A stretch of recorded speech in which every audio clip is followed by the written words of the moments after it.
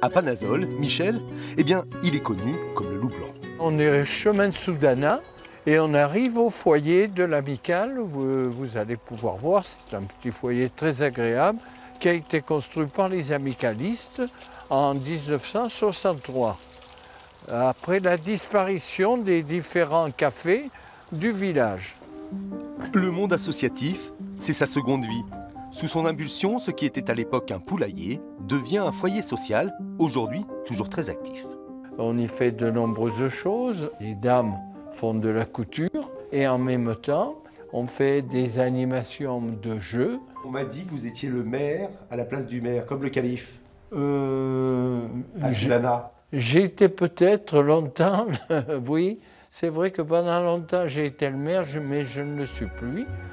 Enfant du pays, né en même temps que le Front populaire, Michel a connu les travaux à la ferme chez des cousins à Saint-Germain-les-Belles, avant de passer toute sa carrière au PTT, ex-France Télécom.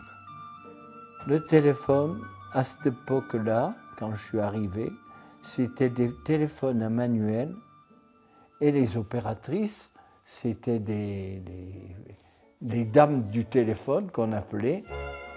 L'Inter appelle la personne demandée. À cette époque-là, donc, on construisait les premiers centraux téléphoniques. Et donc, euh, je travaillais dans la région parisienne. Et là, j'ai rencontré beaucoup de, personnages euh, très intéressants, surtout quand j'ai travaillé à Montfort-l'Amaury, où j'ai pu rencontrer euh, Charles Aznavour. Je vais chez Charles Aznavour parce qu'il avait demandé une installation un peu plus complexe où il fallait donc ou appeler euh, la, la chambre, appeler la cuisine, appeler euh, même dans la salle de bain. Il était comment, Charles Aznavour? C'était un homme exceptionnel, d'une d'une gentillesse dont on ne peut même pas définir. Michel se rend ainsi chez Brigitte Bardot, Georges Marchal, Eddie Constantine. De son passage chez Bébé, il garde un souvenir bien particulier.